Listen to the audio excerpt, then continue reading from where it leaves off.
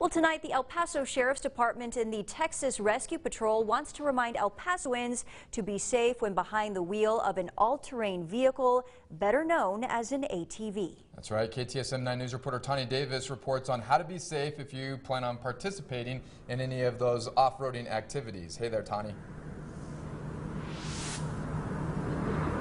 Andy Natasha, the Sheriff's Department released a statement encouraging public safety and reminding residents that they will be enforcing code violations for all off-highway vehicles. The Texas Patrol also has several tips as well for those who wish to go off-roading.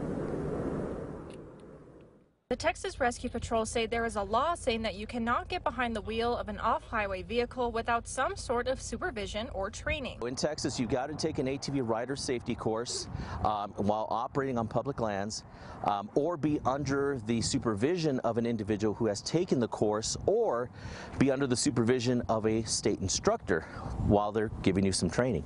Mutron says even with the training class complete, that does not leave you immune to safety and that what you wear in the vehicles is important for your safety as well. Always be wearing a helmet and eye protection inside of a UTV, regardless if it has a roll cage, because we also see a lot of head injuries where people end up rolling these things over and they strike their head against the roll cage. Mutron and the Texas Rescue Patrol offer classes to El Paso so that they may learn the basic principles of transverse across the sand dunes safely. The class teaches you how to do emergency turns, how to climb hills, how to descend hills, how to make uh, sharp turns, how to go over obstacles. There's a, a variety of different uh, things that we cover in the class that are very beneficial and will help you in terms of preventing injury on these type of machines.